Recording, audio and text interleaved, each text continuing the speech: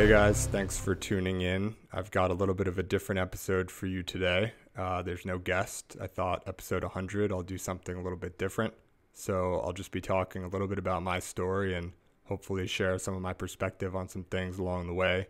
Uh, if you're not interested in that and you just want the normally scheduled programming with guests and the like, I encourage you to turn this off and uh, tune in for the next one. But if you are interested, hopefully I can keep this a little bit interesting and uh, maybe you'll learn a thing or two about me that, that you didn't know. I'll get started sort of answering the question that I ask most guests to start with, which is to tell their story and start as early as they're willing to start and talk about, you know, how they got to where they are today and some of the decisions they made along the way. So, in that spirit, I will start as early as I really can growing up. I was born with two you know, great parents. And a couple years later, my younger brother was born. And I think being an older brother was uh, something I, I really enjoyed. It's it's like a uh, natural position of leadership, I'd say, and, and you get to sort of be a role model from a very young age in a, in somewhat of a natural way. Uh, I always liked playing sports growing up, like being part of a team and competing and winning and I always cared a lot. Like I remember I'd lose a basketball game or something like that, and some people could just sort of shake it off, and I'd be pretty disappointed, and uh, you know, feeling like I could have done something better, and just cared a lot. Um, I was a pretty strong-willed kid, to say the least. Uh, stubborn would be another word for that.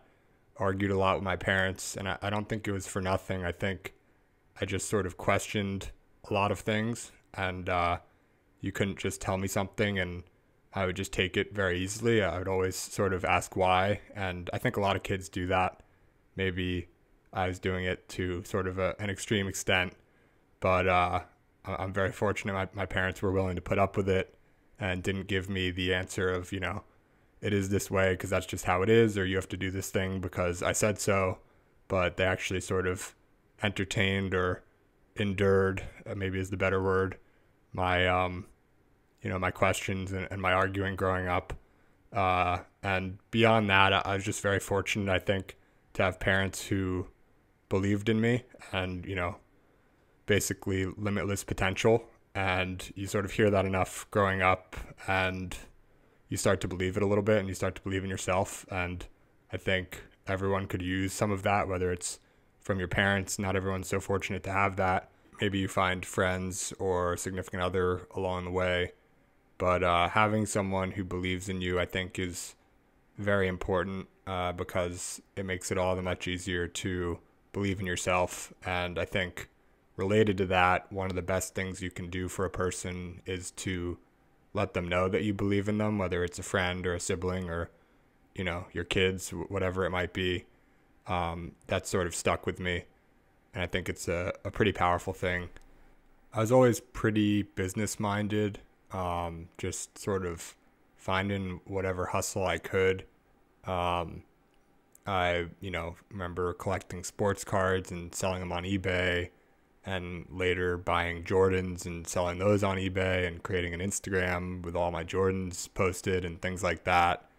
Uh, I listened to a lot of hip hop in high school, which I think sort of lends itself towards that like hustler mentality, where you have all these people who just sort of came up from nothing and they happen to have built themselves up through music, but um, you know, it's analogous to a lot of different things in entrepreneurship, I think broadly. In high school, I started to work real jobs a little bit and uh, my first ever job was at a flower shop. Some kid in school told me that you got great tips if you brought the flowers out to the cars or whatever. So I went out and got a job at the local flower store and ended up spending the whole summer in the basement cutting stems and there was no tips and it was pretty brutal. I was pretty tall even then and uh, I remember I had to like sort of crouch down in the basement and so that was sort of the beginning and the end of uh, my career working in the floral industry. But uh, later, I guess that might have been like my freshman or sophomore year and you know, the summer after that, I, I was fortunate to get a job with a local entrepreneur. Uh, he had come to speak at one of our career days at school or something like that, and Uh, he was into sports marketing, and I liked sports and figured marketing sounded interesting enough. And went up after the presentation and asked him if I could work for him. And one thing led to another, and, and I did. Um, so that was an interesting experience just working for a guy who's probably 50 or 60 at the time and spent a whole career in business and just getting to learn from anyone in business at that time is a pretty good experience, I think. And did that for a couple summers. Uh, when it came time for college, like I said, I was pretty focused on sports and, and not too keen on the classroom. So um, got into an okay school, but it was at that point that I realized that I had sort of taken my education growing up for granted and uh, just sort of the level of ambition that I was surrounded by.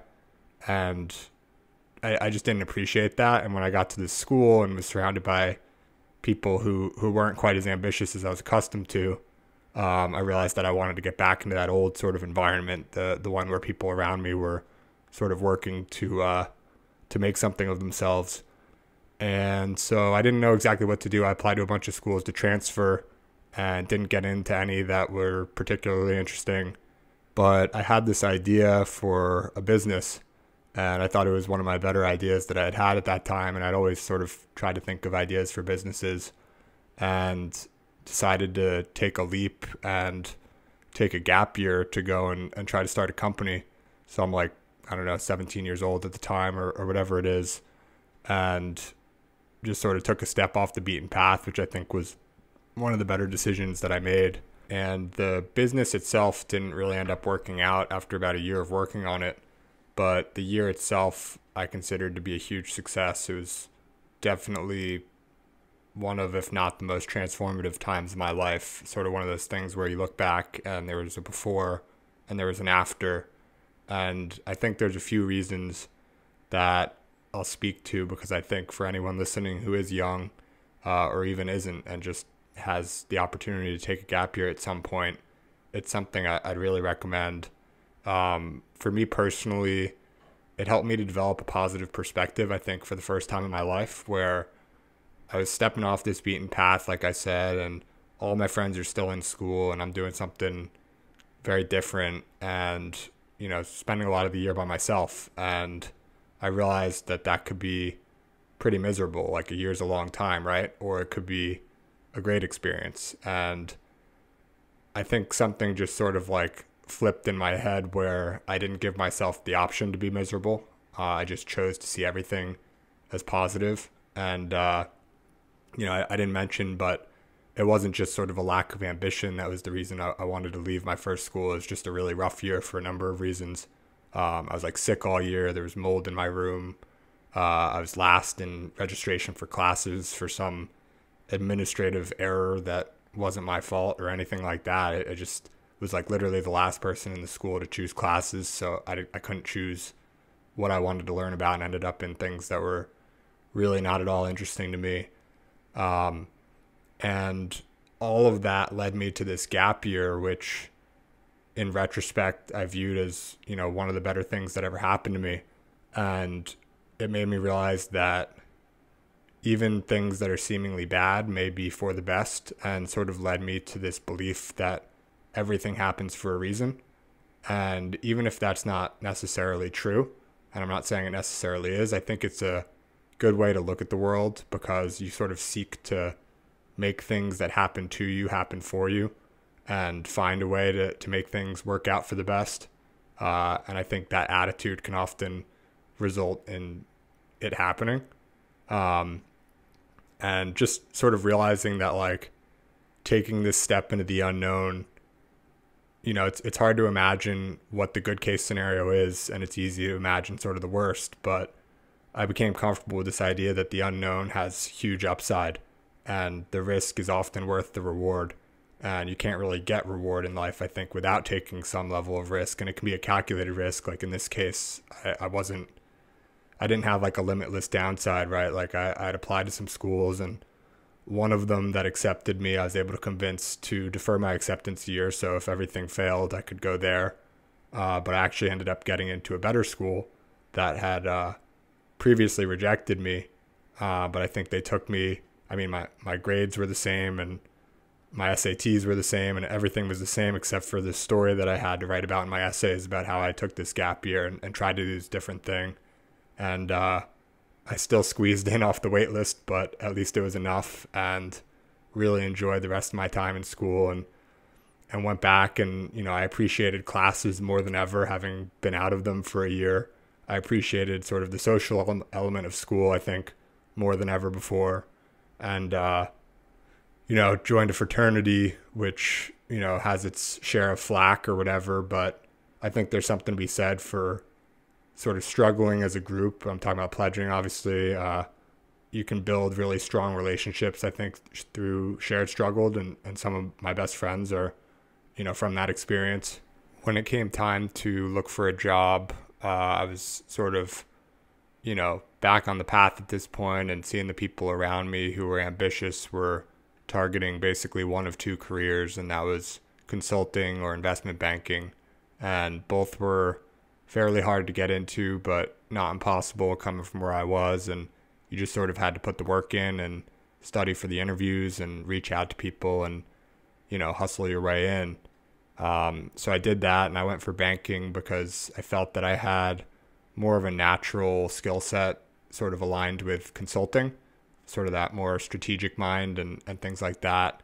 Whereas I didn't know a clue about finance and figured that it was a pretty important skill set to build for a career in business, which is what I wanted to do. Um, so I was fortunate to get a job, not just in investment banking, but specifically technology M and A. So I got to see how companies worked and acquisitions worked, and think about strategy a little bit more than you might in another position in banking, and, and work with technology companies. And it wasn't necessarily the sexy technology companies that you, you hear about or that I talk about today types of founders I have on the podcast, but nonetheless, it was technology companies, and that was somewhat interesting to me. And um, I think more than anything else, banking, it, you know, from a young, early age, coming out of school, my first real job, it uh, got me accustomed to a really solid work ethic and a really solid work product. I think there's pretty high expectations. And again, I was surrounded by really ambitious people and that's a good environment for me. It's it's one that I enjoy and it's competitive and, and everything like that.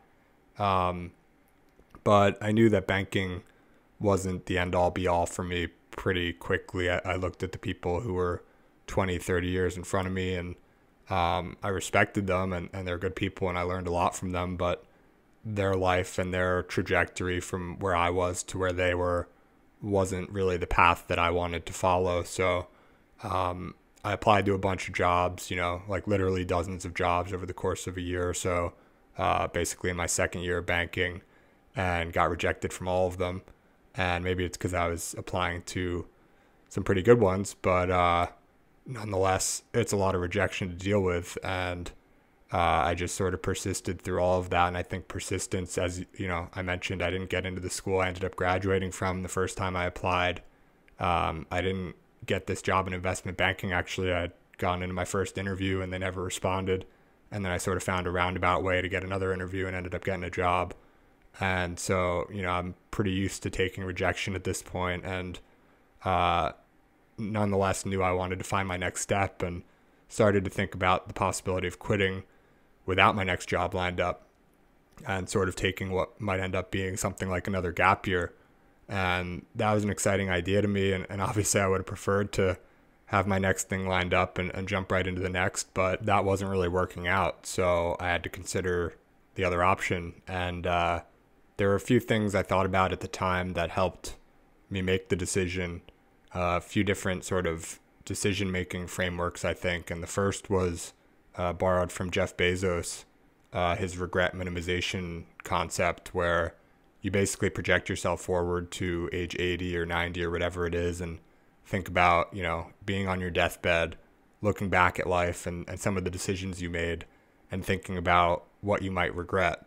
In this case, I had sort of two options from my perspective, which was to keep going and, you know, keep doing my job and, you know, maybe looking for new jobs or to take this leap again, similar to how I'd done with my gap year, and jump into the unknown and, and see what happened. And, you know, taking the Bezos framework, I couldn't really foresee a situation where I would regret taking that sort of leap of faith, um, especially given that I knew the first time I went and tried to start a business and the business didn't even work out. But nonetheless, the thing ended up being, you know, the gap year overall ended up being a great thing for me. Um, and on the other hand, I, I could foresee sort of looking back and regretting spending, you know, so much of my 20s in this job that I knew wasn't the long term thing for me and not taking that chance. Um, so, you know, that's oversimplifying the decision a little bit, but I ended up taking the chance. And obviously, you know, maybe not obviously, but certainly am uh, glad that I did. So I didn't have any plan as to what was going to be next for me. Uh, I had a one way ticket to Italy with my girlfriend to just sort of relax for a little bit and decompress after a couple years in banking. And so we flew out there and had a nice little vacation. And she went home after a week and, and got back to work. And I figured out on the way to the airport with her basically where I wanted to go next and bought a one way ticket to Paris. Uh, booked a hostel for a week or 10 days or something like that. You know, when you uh, don't have any income anymore, you got to start to watch your expenses a little bit. And Paris is a pretty expensive place. So um, it was actually interesting. That was really the first time in my life that I had to think about, you know, how can I live on my own in a really cost effective way. And I think that was really beneficial after a couple years in banking where you know, as a young guy, you could basically spend, you know, you're making enough money, you, you don't really have to worry about what you're spending. Um, but I sort of went to the other side of the spectrum very quickly, where I was basically trying to see how little I could spend in a day uh, and still enjoy life. And you know, I'm I'm in Paris, and I don't know if I'll ever go back, so wanted to certainly enjoy the experience, but nonetheless, thinking about cutting my cost of living a little bit and realizing the runway that you can build for yourself.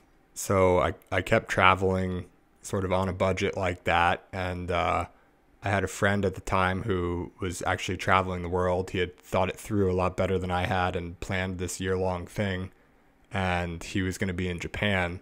So I flew to Copenhagen for a few days to catch a flight to Japan and met him over there and spent a few weeks in Japan, which was a really cool experience. And, uh, he was starting to train for I forget if it was a marathon or the Ironman at the time, but um, training pretty hard, and so I picked up running with him, which was another nice perk of the trip because I'd never really been too into running or, or working out overall, but found that you know running long distances at a slow pace with a podcast going was actually a pretty enjoyable experience and, and a good way to stay in shape.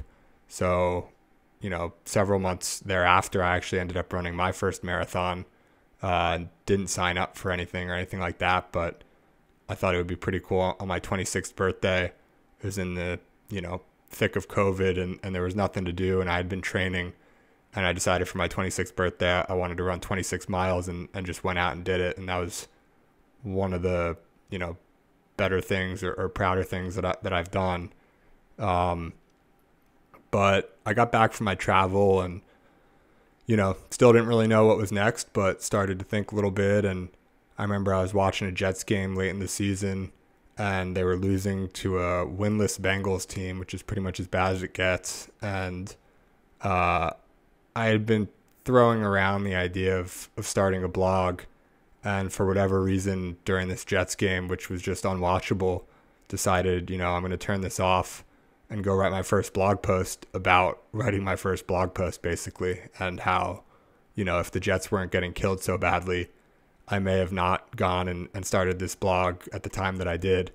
And i think when it comes to starting anything if you don't sort of start at that moment there's always a chance that you'll never start. And so to some degree i, I owe the jets for everything and how horrible they are um, because you know, had they not been losing so bad and had I not chose to start the blog at that point during that game, who's to say that I ever would have? So I kept on blogging for a while and basically was on this cadence that I had set for myself where I would publish something every weekday. And for those of you who write, you know, it's it's pretty challenging to actually post something every weekday and I didn't even have anything in particular that I was forcing myself to write about, but even just writing about whatever I wanted to write about, it's it's hard to get to that point where you feel comfortable posting. But I was doing that and I was running and I moved back to uh, New York City, which is where I was in, in banking prior. Uh, I moved back in with my brother and I remember we were choosing between a four month lease and a 24 month lease. And the four month lease we figured would basically be 16 because we could just renew after the first four. And I remember I was sort of mixed between the two, but my brother was really advocating for the four month. So we went for the four month. And it ended up being actually a pretty important decision because that was January or February, I think, beginning of February 2020. And uh, COVID started to hit New York in basically mid March. So we actually ended up only spending a month and a half uh, of that four month lease in the apartment. And both of us moved back to our family home when COVID hit and everyone was sort of leaving the city. And, you know, COVID obviously was a terrible thing for a lot of people. For me, the bright spot was that, you know, I, I was expecting to be in New York, paying New York rent, and my runway, as I sort of mentioned, you know, that wasn't doing me any favors in terms of cost of living. So I was look I was starting to look for jobs again.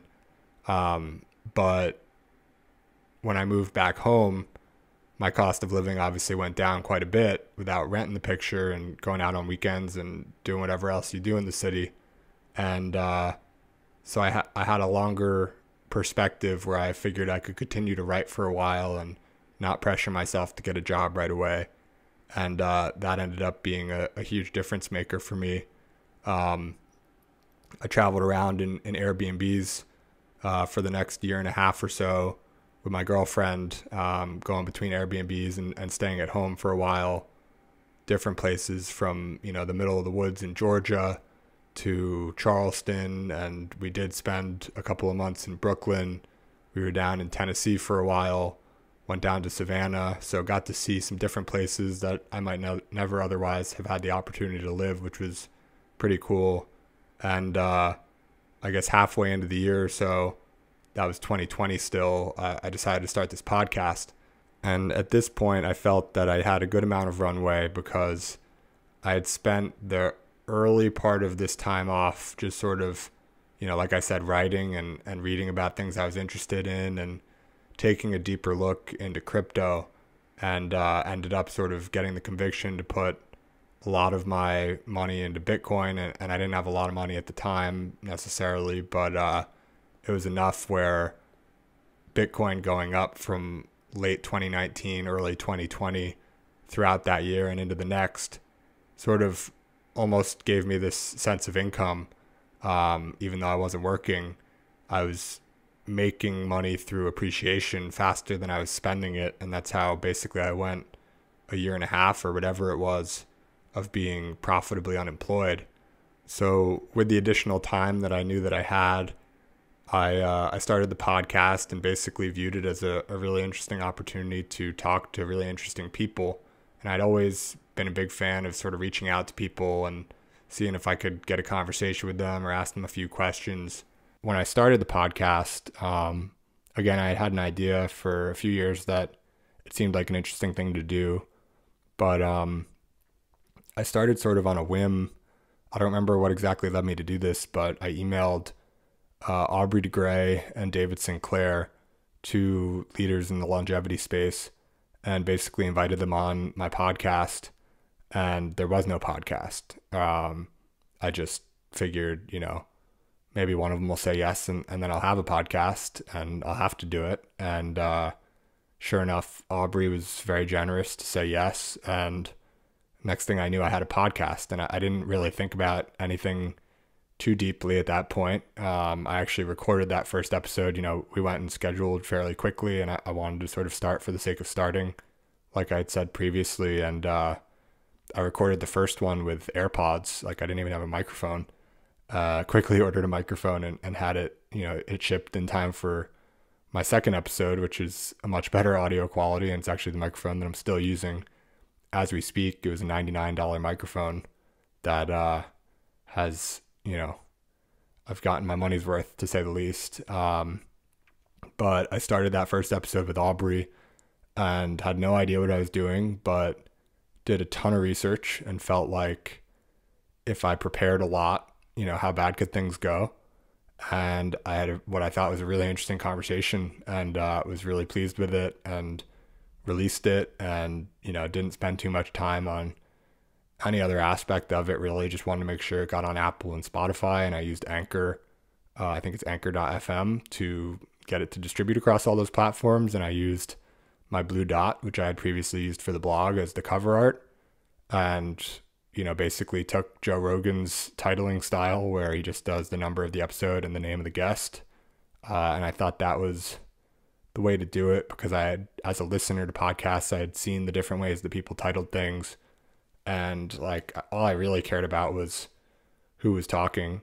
Um, I was much more interested in, in, you know the guest than any particular subject, and to me the focus should be on the guest, and so that's why I named them that way, and I've continued to do that to date, and just put all the focus on the guest, and ideally, it doesn't you know it doesn't really matter. I mean, of course, I can do a better or worse job in, as the interviewer or, or the the host, but um, it really all just depends on the guest and whether they're interesting and what they have to say and how much energy they bring to the conversation, how much they're sort of motivated to have an interesting discussion. Uh, if they come in and they're just sort of low energy and don't really want to be there, it's going to be a bad episode no matter what I really do. And I've been very fortunate that most, if not all, my guests to date have sort of brought that energy and been interesting people. A lot of people, probably the most common question I get is how I get all these guests. Um, some people think I'm like casually connected or something. But uh, the truth is, it's just cold emails um, or cold outreach through DM or whatever it is. Um, I've always, uh, I've actually always cold emailed people from a pretty young age. Just it seemed to me that this email thing was like you can reach out to anyone you want so long as you can find their email. And uh, I've learned how to find people's emails actually recruiting for banking, where you need to find like the email of an associate or whatever to reach out and try to network or whatever. And it turned out to be a pretty useful skill, which I've shared about as well. If you look at my blog post, The Art of the Cold Email, um, you can find most people's email addresses in a, in a, you know, 30 seconds or a couple of minutes or whatever, just sort of guessing, you know, first name dot last name or first name at whatever their company email is or whatever it is.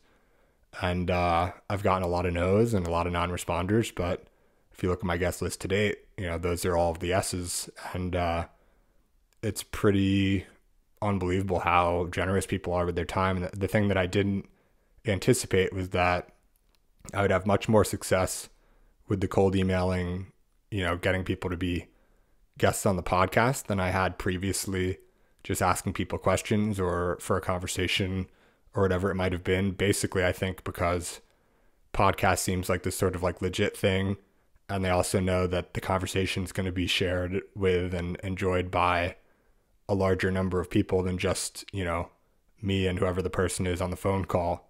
So um, that's been pretty cool. And you know anyone who's listening who's thinking about starting a podcast like just go do it. Um, whoever you want to talk to reach out to them. And you might be surprised by who says yes and how quickly things can develop. What i like about the podcast and uh, you know just sort of reflecting a little bit after 100 episodes is uh, i mean there's a bunch of a bunch of things but one is that it gives me this sort of cadence where no matter what else i'm doing i'm having like on average a conversation a week with someone i'm interested in talking to. And in order to sort of not embarrass myself or just have a stupid conversation I end up doing a lot of prep work and basically just immersing myself in that person's perspective for the week or however long it is, and uh, learning about the things that they're interested in and how they think about the world. And if they're like an expert in a given subject, I'll learn a lot about that subject. And it's just sort of a uh, a programmed way for me to ensure that I keep expanding my perspective and learning different points of views and learning about different areas and uh, subjects where just by maintaining the cadence and, and releasing a podcast a week, it's like a forcing mechanism for learning, um, which I found to be very valuable. Another sort of takeaway is that a lot of people from their Twitter presence or, you know, reputation or whatever it might be, you might have certain sort of uh, ways that you think about them. Like one, you know, one person would be like Kanye, right? So he's like super controversial and a lot of people have like pretty polarized opinions of him. It's like a love hate type of thing. But I'm sure if you actually got in a room and talked to Kanye, and even if you listen to like him go on Joe Rogan podcast or whatever, like he's just a person, right? Like he's he's not as unusual in either way as you might think he is, and he's not. You know, he's definitely different, and uh, for better or worse, it's you know gotten him to where he is now and everything like that. But I think one of the lessons for me from talking with a 100 people who prior to recording were pretty much strangers in, in almost every case. You learn that people, while different in a lot of ways, are a lot more similar as well. And uh, in a long form conversation, are a lot more reasonable, I think, than some might assume them to be. And has just resulted in me giving people a lot more benefit of the doubt when they gain a certain bad reputation in, in certain circumstances um, to realizing that there's just like a person under there who's pretty similar to you and I and uh, is not trying to be bad or anything like that. And not to say I've had people on who have that reputation, but um, just realizing that people are generally in a one on one setting, long form, they're pretty nice and like pretty reasonable and they're just people, um, no matter how famous they are or whatever. Um, most people are like fairly down to earth and whatever. And of course, there's ex- exceptions or whatever, but I'm 100 episodes in and I haven't like gotten on a conversation with someone where I'm like, oh, you know, that person, you know, maybe an exception, one exception that comes to mind in 99 episodes where I was like, ah, person was kind of unpleasant um, and unreasonable but even that was a, a really useful conversation to me. I, I, had some there's some pretty interesting back and forth, and I won't name the person, but um, it's just you know it's a good thing I think to talk to people who are outside of your immediate environment. They're not your friends or your family or whatever. Just talking to an interesting person, and, and in my case, a lot of people who have been sort of you know from all types of different backgrounds, all types of different interests, all around the world, um, and seeing that sort of common thread in humanity has been pretty interesting for me. Um, another consideration of, of podcasting for those who are thinking about doing it themselves is, and one that I think about a lot, is sort of the trade off between preparation and uh, spontaneity. So naturally, if you don't do a lot of preparation, you don't really have a choice. You have to be pretty spontaneous, like I've been today, and, and not having a lot prepared here. Um, and it can sometimes lead to really interesting conversations. I found some of my best recordings have been ones where I was sort of in a jam and didn't have that much time to prepare. But I generally default to doing a lot of preparation, to over preparing probably. And I, I, don't script questions really or anything like that, but I do have notes with areas that I'd like to hit on. And uh, I think there's a real trade off there. If anything, preparing just makes it a little bit easier for me to go in, and I'm still sort of like, there feel there is a sense of pressure when I press record to start every episode. It's like, you know, is this going to be the one that is finally like a total train wreck? And it never really happens, but there are moments here and there where you don't really know like what to say next or where to drive the conversation. And sometimes when you're being more spontaneous, it's a little more fluid and a little easier to just sort of move on to the next. But when you're prepared, you also have this like sort of backlog of ideas and topics that might be interesting to discuss and so it's it's a real trade-off and, and I don't have an answer as to what's best or what the right balance is but for a variety of reasons I'm continuing to prepare um, in each case because like I said it's sort of a a forcing mechanism on learning and immersing myself in that person's perspective and I think that among other things like I'm asking for their time and I place an extreme value on an extremely high value on on time in general, my own as well as others, and I don't ask for it lightly. And so, if they're sharing an hour with me, and a lot of these people are like important people with a lot of things to do, um, and they're choosing to talk to me, and so I'm gonna spend a good amount of time sort of doing my work and and trying to make it as good of a piece of content as I can, as good of a conversation for people to tune into as I can, and uh, not just be asking them sort of generic questions that I have, but rather trying to understand the most interesting areas that they might like to talk about and drive them to do so. Um, and that's been, I think it's been good so far. It's it's very hard to know, but um, you know, I don't have like big audience numbers or or anything like that, but I think just from feedback that I've received in uh, you know DMs or people who do know me personally who listen to the podcast, I've had pretty good feedback, um, and I think people tend to enjoy sort of my style, whatever that is.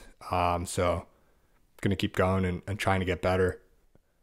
On that note, um, while I, I am continuing to release an episode a week, as as you've seen and uh, expect to continue to do that for the foreseeable future.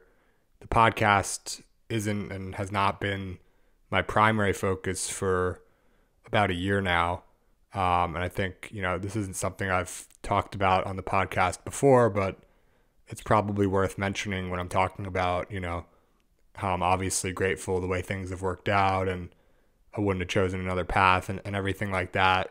Some of you listening might not really understand, given the information I've shared, why that is that I, that I'm so happy with this path. I mean, the podcast is great, but the thing that came out of it that again I couldn't have possibly foreseen when I started the thing, or before that when I started the blog, or before that when I quit my job without having any idea what I was going to do next, turned out to be my next full time gig, and that's what I've been focused on for the last year. Uh, the short version of the story is that I had a guest on in the pretty early days of the podcast, someone I was really excited to speak with and had an awesome conversation with, and uh, just someone I, I admire and think is one of the smartest people in the world, one of the smartest people I've ever come across, at least from my perspective. And uh, basically had him on the podcast, and one thing led to a next. I started volunteering, doing a little work for him, and uh, eventually it, it turned into a full time job. And so that's what I've been focused on for the last year while running this podcast sort of as a as a side hobby. Um, it's a pretty nice side hobby. I've enjoyed it quite a bit for all the reasons I've talked about, but um, as or more excited about what I'm working on, uh, spending the majority of my time on these days, and excited to hopefully share more about that at some point in the future the reason I think it's important to bring this up is because it really brought everything full circle for me. Um, just like how my gap year with the failed business ended up leading to a great outcome, getting to go to this great school where I ended up spending my next three years and, and graduating from. Um, it's sometimes hard to know when you're in the middle of the leap of faith if you're going to land or where you're going to land on the other side and I knew that the podcast was going well, and I'd enjoyed my writing and um, you know my running and focusing on my health a little bit and a number of different aspects, traveling and staying in Airbnbs and, and all of those different pieces of this second quote unquote gap year. But I didn't know where I was going to land after all of it. And when I ended up landing where I have, I just remember this sort of tremendous sense of everything I had ever done felt right because I was where I was now and, and I didn't want to be anywhere else or doing anything else. And it's a great feeling when at certain points in life you sort of hit these checkpoints that just give you that confirmation that the things you've done up until that point were were right or at least you can sort of be glad that you did them because even the bad things the bad times brought you to where you ended up and if you sort of think about the butterfly effect or other concepts of the like, you know, any one thing going just a little bit differently might have landed you in a totally different place. And so I think you have to choose to be glad for every piece of it if you're glad for where you end up.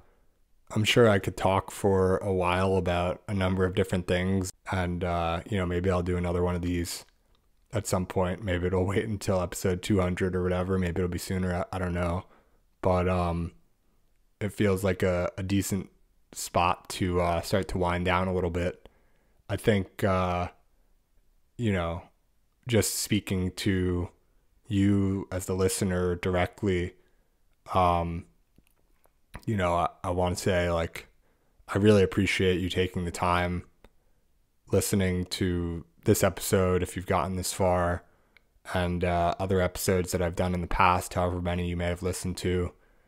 It's a pretty unbelievable feeling to be able to get on the microphone and have a conversation with someone that I know is going to be listened to by, you know, at least hundreds of people, if not thousands, and, and so on. And I'm sure those numbers will only continue to grow as I keep going. And even when just one person listens and gains some value from this conversation that I'm having and recording and sharing. And like I said, sort of some of the DMs that I get, people who use words like I've been inspired and, and things like that.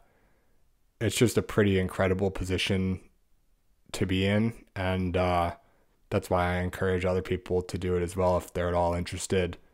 Podcasting, you know, it's just this uh, uh it's just a word or whatever. It's just a thing, but an, an activity, whatever you want to call it. But it's been hugely valuable. The people I've been able to meet and uh, the people who have, like I said, taken value from it and made changes in their lives. It's impossible to sort of know the total impact that you're having, but I can't help but feel like sort of just by being myself and uh, talking with people who I find interesting about interesting things and ideas that I think are important.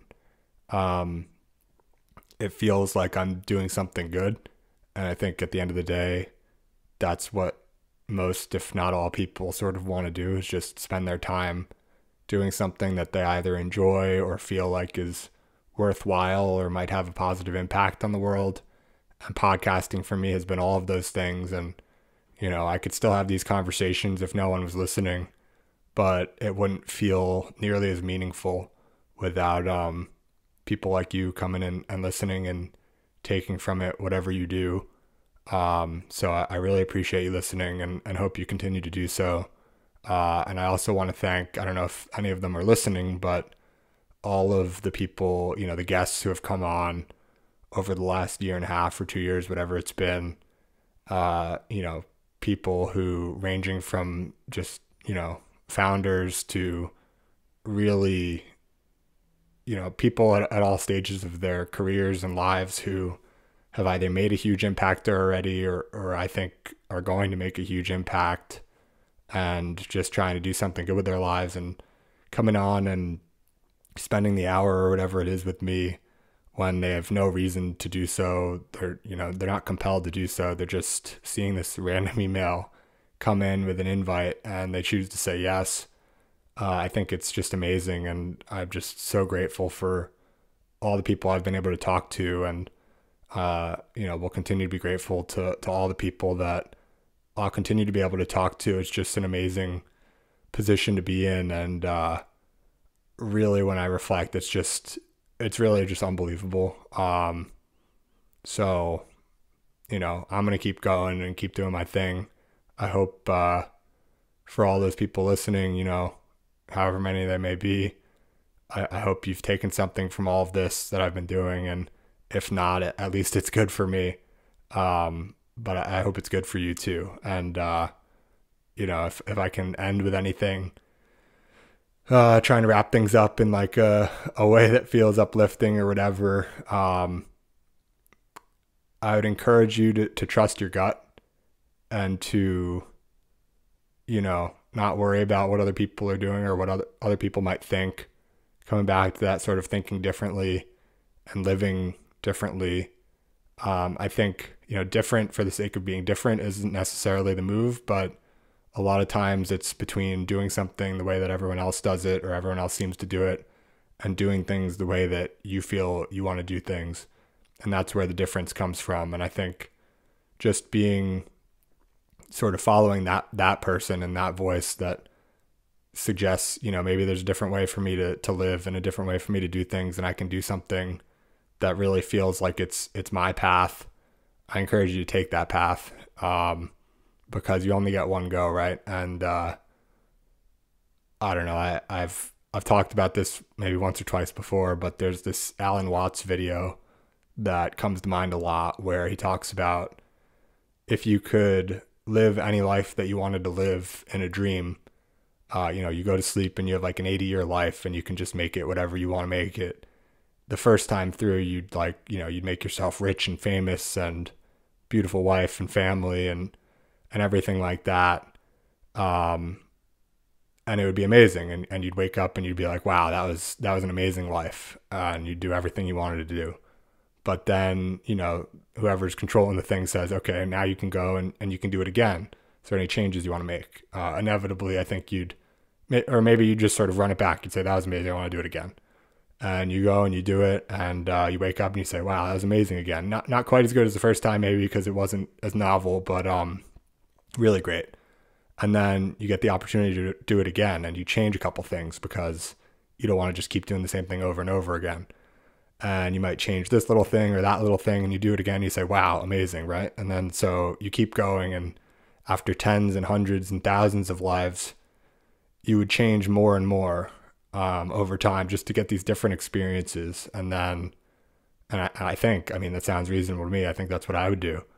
Um, and after sort of like infinite runs alan watts's argument which i tend to agree with is you would be like all right this time just surprise me um, and I think that's what life really is, right? Like you can't design how the whole thing's going to go. The whole thing is just going to be filled with surprises and maybe you can make an impact throughout, you know, on what your path is by making decisions along the way. But at the end of the day, you can't foresee the future and, and it's all going to be a surprise.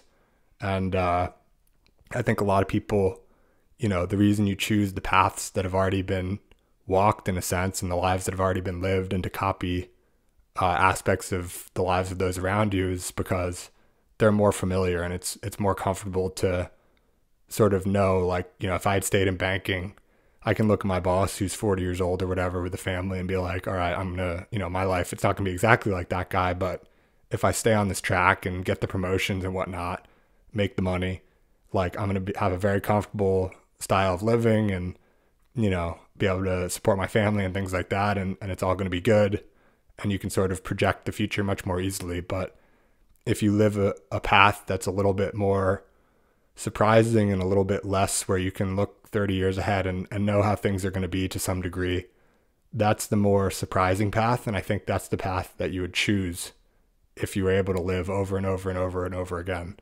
And uh, so I, i'd encourage people you know if that resonates at all like take the path that that might be surprising where you can't see what what's down the line in 10 or 20 years or even 5 or a few um, take the path that's sort of a leap of faith and figure it out as you go and uh, I don't know. I'm, I'm very young still, so I, I, could look back on all this and think it's somewhat silly one day. But for now, it's it seems to have worked out very well, and, and I like where I'm at, and uh, I'm very excited about the future. I think that I try to look at life, you know, there's the past, the present, and the future, and I try to be grateful and appreciative of the past, not to have regret.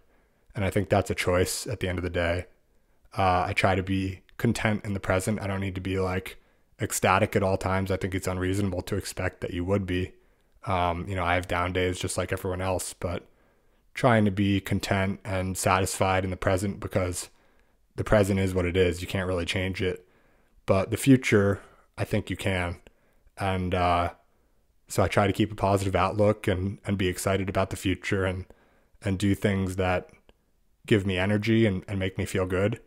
Um, and so, yeah, appreciative of the past, content in the present, and excited about the future, I think is a good way to be. And uh, yeah, that's it. Thank you all for uh, for tuning in. A little bit of a different episode, but hopefully you enjoy it. And uh, I'll be back with, uh, you know, normally scheduled program with guests and the like starting in episode 101. So appreciate you tuning in and uh, thanks for listening and thanks, you know, for not just for this episode, but like I said, everything you've, you've you know, following me and, and my journey and uh, listening to these conversations I've had with people. I think, uh, like I said, it's been, it's been an amazing ride for me and I think it's just the very beginning and I hope the same is true for you. Thank you